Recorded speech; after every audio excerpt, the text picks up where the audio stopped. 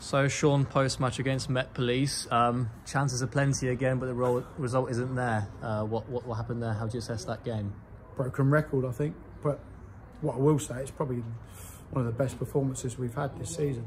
And people might sit and not who are not here and see that and go, don't know how you see that, but we totally dominated the game. Really, we got punished for two of our errors again.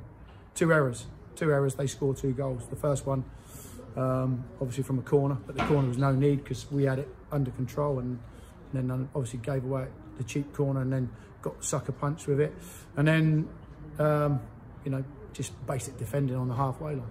And listen, Finn's a 17, 18 year old kid who's done great for us, but, you know, he has to learn the hard way. If you make silly mistakes, you're going to get punished. And, and we got punished from it, but we didn't punish them. You know, we had so many chances. Um, and when it ain't going for you, it ain't going for you. I mean, how we haven't got a penalty in the first few minutes with foul on Danny Hollands, I don't know. But you don't get it. Sometimes you don't get it. And um, like I just said to the lads in there, the only people who can get us out of the, the rut we're in at the moment is us. If you keep playing like that, it will change. I believe the harder you work, the luckier you become. Um, and it's just not happening at the moment. But, you know, we're the only people who can get out of it, um, the group of players and myself. No one else can help. So, you know, we know that um, we'll have to keep fighting and, and, scrapping. You know, we're okay. Points we've lost points tonight in the league, but in the, our league position wasn't too bad before tonight. I don't know what it is now. How many teams around us, but there's still a lot to play for. But we need to turn that corner and turn it quickly. Um, tensions rose a little bit. We saw yourself get a yellow card, Harvey Roux get a yellow, and then your assistant manager get sent off as well. Uh, what happened there? I got a yellow card simply because there was a fracas, which I'm stood at the other end of the bench, uh, and I mean, I'm the manager, I'm in control of the bench. I have nothing to do with it. So Harvey Roux got a yellow card, as you saw the tackle on Billy Bassari, which was naughty. Um, Harvey Roux just ran in, I think, to protect him. But listen, I don't want to talk about officials. It's um, I, I, don't think the uh, as I said before, I think officials need to be accountable for certain things, and um, some of the things that went on tonight not good. But there we go. You know, Jake Wigley, no idea. Their their referees said um, it's, it's even not worth commenting on, apart from the fact we got the Veo. It's right there. The Veo will pick up everything, um, and then we'll prove that Jake Wigley never said anything.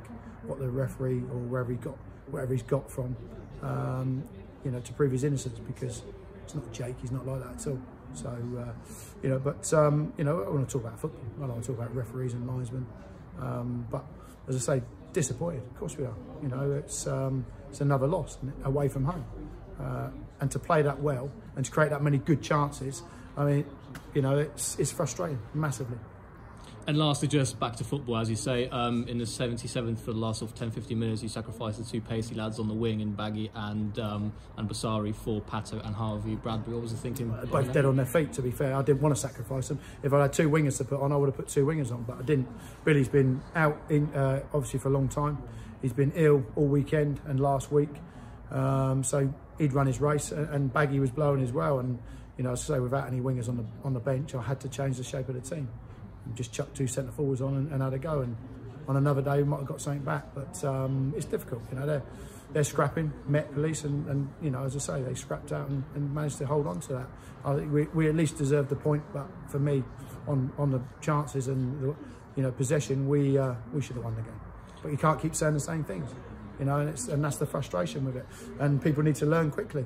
And um, you know, if they don't, you know, we're not going to keep, we're not going to win football matches. So, as I say, I'm bitterly disappointed with it, but we'll go again. You know, I'm not a person who's going to get my head down. I'm going to keep going and keep fighting. I work, as I said, I've worked too hard for two years uh, to build this up to where it is. You know, every football club in in the land, I think, has a sticky spell, and we're having one at the moment. We need to get out of it quickly.